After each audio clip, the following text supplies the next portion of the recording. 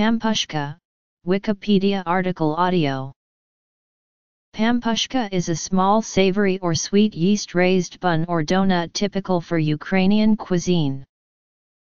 Etymology Varieties History In popular culture The Ukrainian word pampukh comes via Polish pampuch from German pfannkuchen.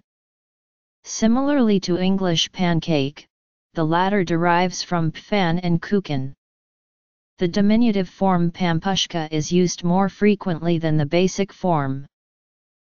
Pampushki are made of yeast dough from wheat, rye, or buckwheat flour. Traditionally they are baked but may also be fried. Savory pampushki have no filling. They are usually seasoned with garlic sauce and often served as a side dish with red borscht or yushka. Sweet pampushki may be filled with fruits, berries, varenye, povidlo, or poppy seeds, and topped with powdered sugar. Ukrainian borscht served with garlic pampushki and slices of salo. Pampushki with cherries and icing sugar topping.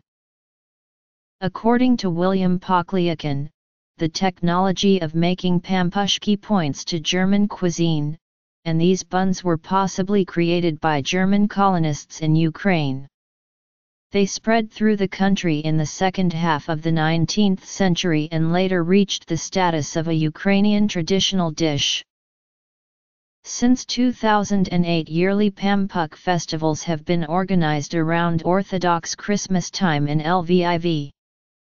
During the festival in 2012, a Guinness World Record was set by building the world's largest mosaic made of donuts. Media related to Pampushki at Wikimedia Commons